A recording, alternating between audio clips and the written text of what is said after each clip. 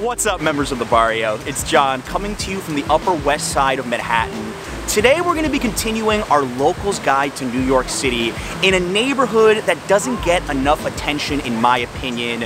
It's relaxing, it's got a lot of history, and I think more tourists need to know about it. And today's guide is a real expert. His name's Seth. He was actually my art history professor at Rutgers. He's lived here a long time, and he's going to be teaching you a lot of things. Hey, I'm Seth. Welcome to the Upper West Side. This is my neighborhood for the last 30 years at least. I thought we'd start here at Lincoln Center and then we're going to go see some wonderful buildings, an under-visited museum, eat in a really super unusual restaurant with wonderful cuisine, and we're going to end in one of my favorite parks here in New York City, and it's not Central Park. Seth, a lot of people come to New York and they want to go to the Met, they want to see a show, but the ticket prices here are really expensive. You were telling me that you've got a lot of tips and tricks to save money. Absolutely, I have some wonderful tips. So first one is, um, in August, if you happen to be here in August or anybody who lives here, right here on the plaza, just where we're walking now, they set up seats and a huge screen, a five, six story size screen, and for free, for three weeks, you can screen uh, live at the Met. Um, it's really neat. People come hours early, you bring a box lunch, you sit there, and it's just wonderful. So that's number one. Often, what I do, locals often do, is if you're a free evening, just come on down. You don't need tickets, just come on down, stand right in front of one of the doors, hold a $20 bill up, and people are always selling tickets. Not scalping tickets, but people who, someone gets sick, they have extra tickets, and so you can always pick up one or two tickets on the night of the show. It's never, never fail. Another one of the great things to do here at Lincoln Center is to get tickets for the Juilliard School of the Art. Juilliard, uh, uh, basically a university for performers, is one of the great uh, music schools in the world and they always need an audience and the audience gets in for free. You see world-class or future world-class performers and for example you can see it says Juilliard, New Juilliard Ensemble, all made up of students and free tickets available. That's the key.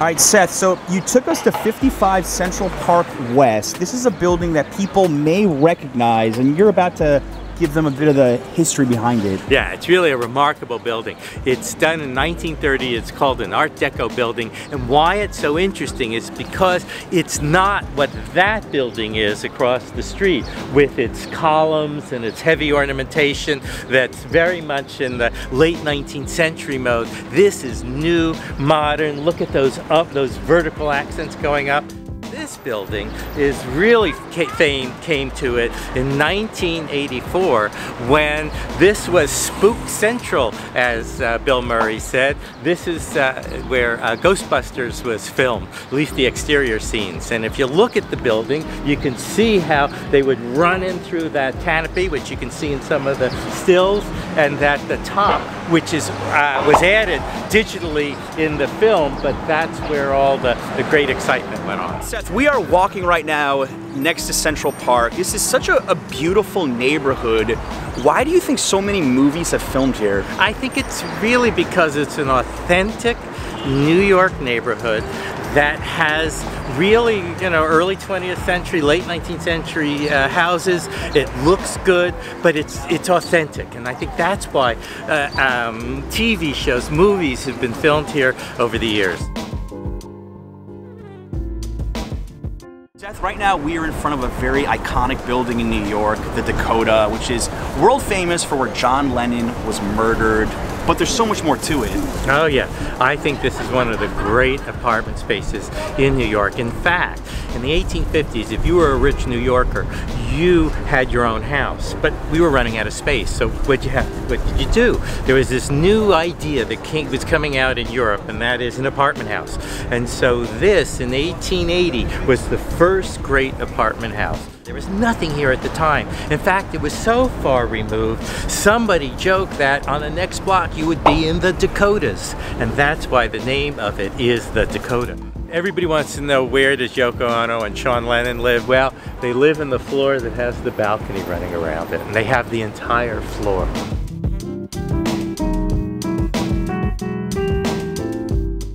Guys, as you know on this channel, we always like to show you the more unique aspects of New York, and there's so many famous museums like the Met, the Natural History Museum, but the New York Historical Society, and you think doesn't get enough credit. Oh, totally. Uh, um, here in Central Park West and 77th Street is this wonderful museum dedicated to the history of the city of New York.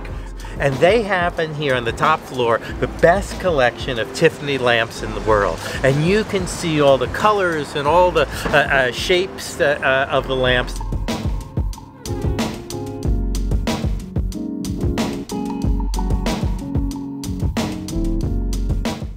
We have worked up quite an appetite roaming around the Upper West Side. We are stopping at one of Seth's favorite restaurants, and I think this is really different. It is a fusion of Chinese and Cuban cuisine. You're gonna hear all about this. For 30 years I've been coming to La Caridad, one of my favorite restaurants here in the Upper West Side. It's a fusion, as uh, Jon said, of Cuban and Chinese. In 1850 they abolished slavery in Cuba and they needed people to pick the sugar cane. So they brought in uh, Chinese, huge amounts of them, 250,000, mostly men. They married locals and a new culture was born. And so this, uh, this cuisine, comida uh, China y Criolla is absolutely wonderful. We're gonna go in and try some. A very exciting menu because you have some hybrid dishes that you wouldn't expect at, let's say, a straight up Chinese restaurant. For example, combo fried rice with sweet plantain and salad. So you're mixing the Chinese influence with the Cuban influence, and a lot of the dishes are just like that having a little bit of everything. We have the picadillos, which is sort of a Cuban sloppy joe. Um, this is the lechon asado, or the roast pork, but uh, a specialty on weekends, and the sauce on it is just wonderful. We have the maduros, or the sweet plantains, the black beans, and of course I like to add hot sauce to it.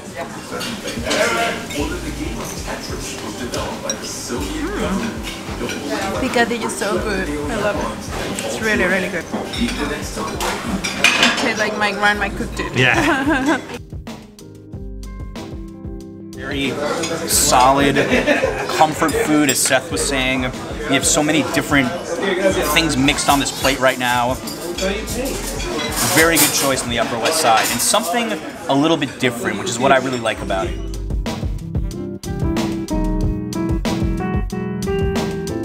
We're going to continue the food theme on the Upper West Side, and it seems like every New Yorker has their favorite deli. Zabar's is Seth's favorite deli.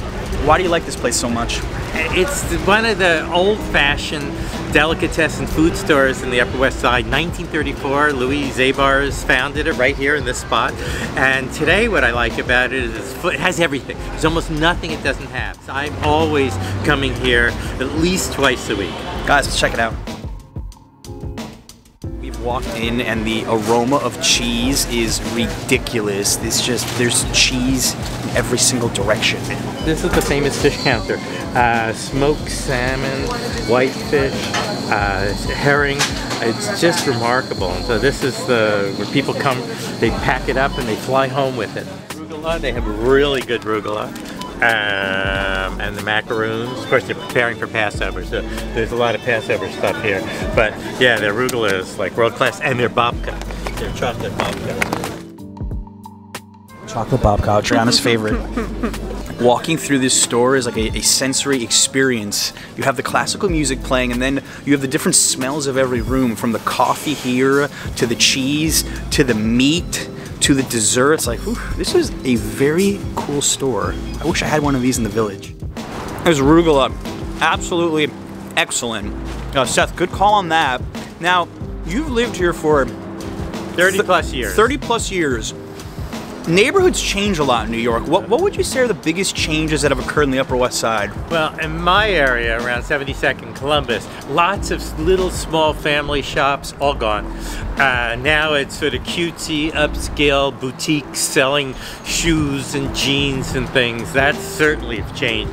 And so uh, it's still sort of a nice, quiet residential neighborhood, but the, the diversity in some ways has, has changed. Um, certainly economic diversity. There was a much wider range uh, uh, of folks 30 years ago. Now it's really more upper middle class. bordering on rich. Um, it's a very cool place to live. I like the neighborhood. Um, I like the people.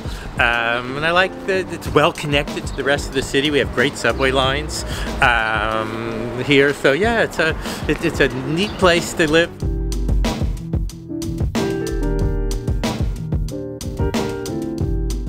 Riverside Park is absolutely gorgeous on a warm day like this. You just have to come enjoy the ambiance here. A lot of dogs running around, a lot of families, a lot of people.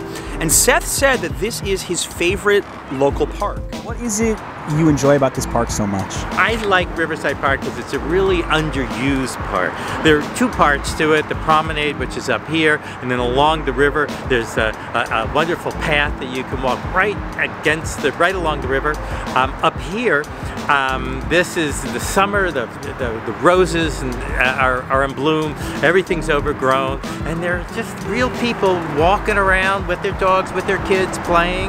I also like that this spot, just where we're standing, was in um, uh, You Got Mail with uh, Tom Hanks and Meg Ryan. In fact, just where we're standing is where the proposal was, and often New Yorkers come or people come and they make their uh, uh proposals right here, exactly where Tom Hanks and Meg Ryan uh, were. Special thanks to Seth, who was an amazing local guide. This is what this series is all about, bringing locals to show us their favorite parts of New York. Guys, thank you so much for watching as always. Until next time.